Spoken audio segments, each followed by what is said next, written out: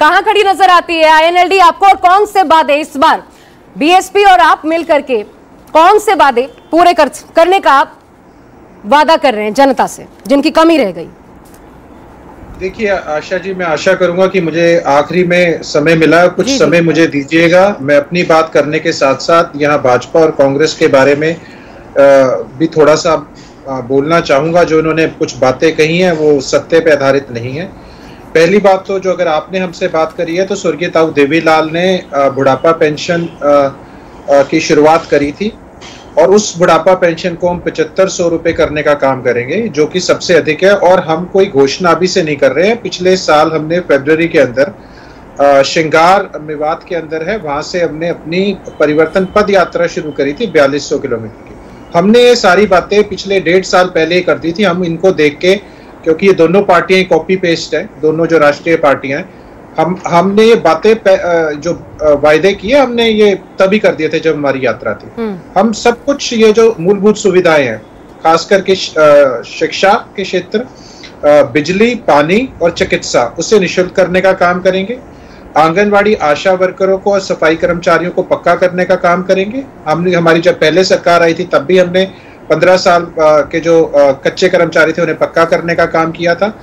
ना केवल हम पचहत्तर सौ पेंशन करेंगे वृद्धा वृद्धावस्था पेंशन को जो विकलांग पेंशन भी है उसे हम उसकी एज भी जो साठ से है उसे दो साल कम करने का काम करेंगे अठावन करने का काम करेंगे। ठीक है।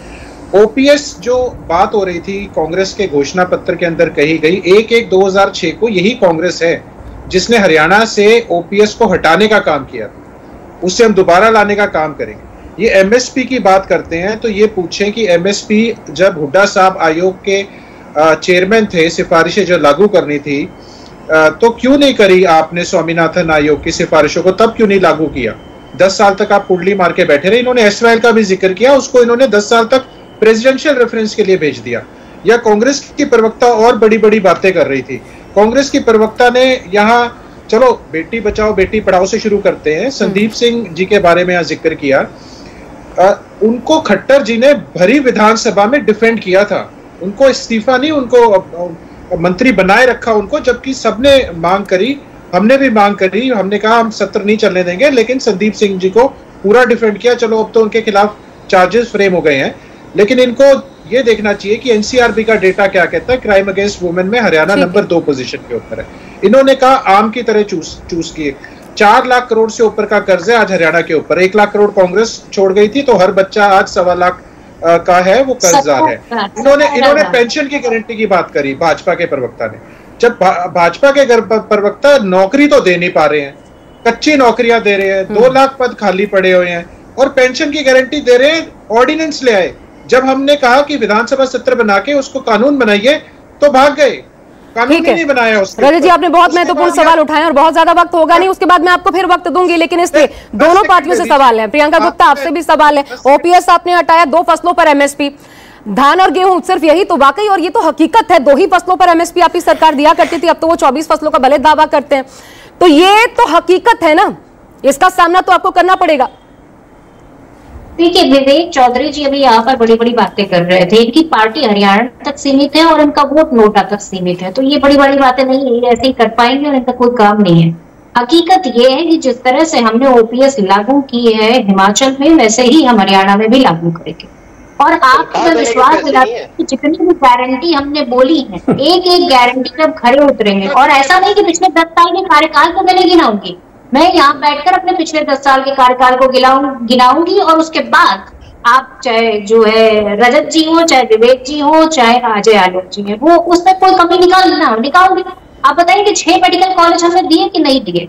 हमने दो एम्स दिए एक नेशनल कैंसर इंस्टीट्यूट बनाया।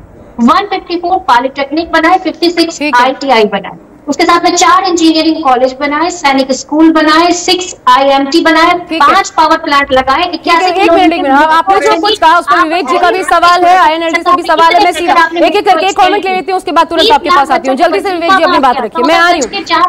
प्रियंका गुप्ता आ रही हूँ एक इंटरप्शन बीच में सुन लीजिए वो इंटरवीन कर रहे हैं जल्दी से। जी। ये सिर्फ़ आंकड़ों की कलाबाजी है इसके अलावा कुछ नहीं है। नंबर साफ़ गिनाने का काम कर रहे हैं। ग्राउंड पे अगर बात करेंगे ग्राउंड पे कुछ नहीं है। गुप्ता जी ग्राउंड पे आके देखिए। वहाँ बैठ के आप नहीं बता सकते हरियाणा प्रदेश के अंदर क्या है। भूपेंद्र सिंह हुड्डा ने एक काम ज़रूर किया। उसको मानना पड़ेगा। गरीब बड़े बड़े किसानों को जमीनों को लूट के जीजा जी को देने का काम किया। इसके अलावा कुछ नहीं किया। अगर आप जल्दी से उसके बाद प्रियंका जवाब दीजिएगा। एक मिनट। हरियाणा में इलेक्शन है आपको पता नहीं मुझे आलोक जी के भी पास जाना है। जल्दी से प्रियंका एक साथ बोलिएगा। राजा जी जल्दी से पॉइंट रखिए। देखिए प्रियंका जी से ये पूछिए कि आप महिलाओं की बात करते हैं। जो मिर्चपुर कांड हुआ था वहाँ दलित महिला और उसके पिताजी के साथ साथ पूरे का पूरा गाँव आपने उजाड़ने का काम किया था।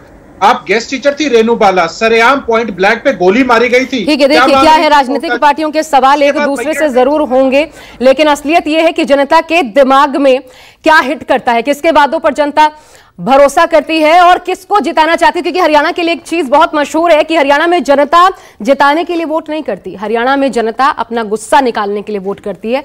हराने के लिए वोट करती है। तो वो गुस्सा इस बार किसके लिए? ये चुनाव तय करेंगे। बहुत शुक्रिया आप सभी का। मेरे पास वक्त इतना ही था, जिसको ज़्यादा समय में नहीं दे पाई। एक छोटा सा ब्रेक ले रहे हैं। देखते रहिए न्यूज़ ट्वेंटी राष्ट्र की बात।